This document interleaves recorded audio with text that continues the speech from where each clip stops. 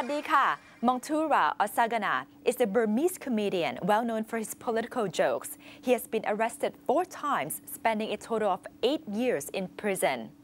In October, he has been released under a mass amnesty for political prisoners. And in December, this past month, he visited Bangkok as his first ever visit outside of Burma.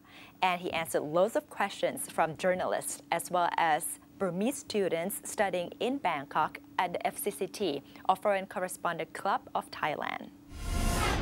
First of all, thank you for coming, all audience and all reporters and all the people. So I, I, I got a shock. So I never have an experience like that. So actually, daily, when I since when I reached to the Bangkok, 16th of the, this month, daily I got a shock. When I saw the aer aeroplane, I got a shock. When I saw the, the, the airport, I got a shock. When I saw the big building and big bridge and the good road, I got a shock. Yes, I never seen that scenes, so I got a shock. But yesterday when I saw the young man and the young woman on the road, when I saw their faces, great shock I got. Just huge shock. Because their face have the many secure face. They have the feeling about security. They have the feeling about freedom they have the feeling about self-confidence I saw on the, their faces. But in our country, our young people lost confidence, lost freedom, and lost self-confidence. Our young people in my country, daily their worry, their anxiety, their face with the full of anxieties.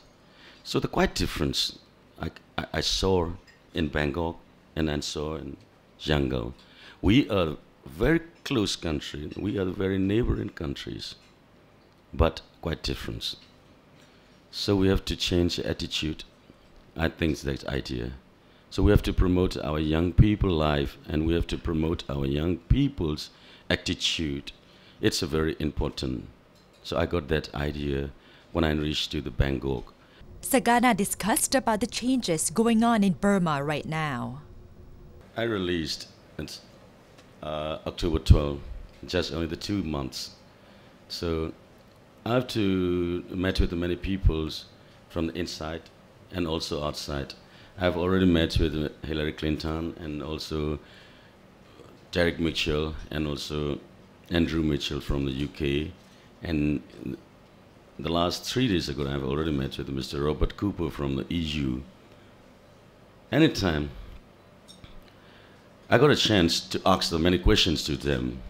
Actually, I don't, I, I don't want to discuss about the sanction for our country, but I want to ask the favor for our garment factory workers.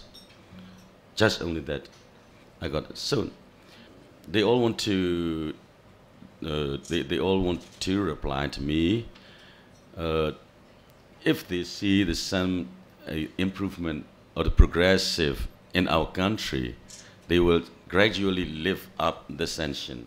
Just so I already told them, this is start of change. I mean, this is start of change. This is the dawn era of our country. This is start of change. You should support us. So now improvement is start. I, I, I can say, now I'm here. This is improvement. Many time I didn't get a passport. I have to. I, I haven't go to any any country. This is my first trip. Now this is the sample. Now I'm here. This is improvement. Can I say this? You can. and we welcome you. One interesting question from the floor was whether he ever considered running for parliament. I don't want to go to Naypyidaw. so I don't want to enter the by-election. So I don't want to be the MP. I just want to support our young people to go to Naypyidaw. So I, I will not enter the by-election. When asked what his favorite joke is, the comedian showed his funny side, which more or less is ingrained in his personality. Um, can you tell two questions? What's your favorite joke? And question number two is who do you think would be most fit to be Burma's president or to, to be an MP if you feel that you shouldn't run? I, I, I'm the kingmaker. And my favorite jokes, you ask me, that all of the, my jokes are my favorite jokes. because I didn't get the money, so I don't want to say any jokes.